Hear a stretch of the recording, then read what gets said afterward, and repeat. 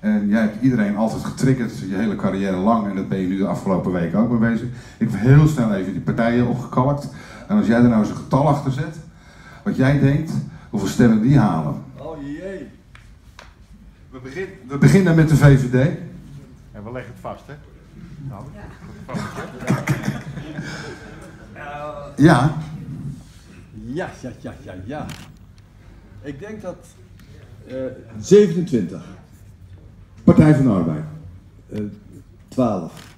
Telt iemand even op zijn telefoon eh, met de calculator even mee. Ja, want anders heb ik straks een PVV. PVV. Eh. Vind het. Eh 19. SP. 15. CDA. 19. D66. Mm, 17. ChristenUnie. 6. GroenLinks. 14. SGP.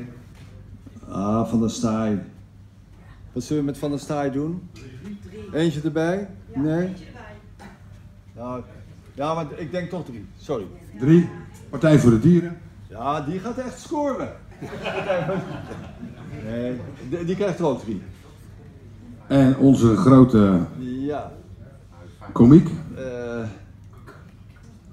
Even kijken hoor. Dat, ik denk dat hij er vijf haalt.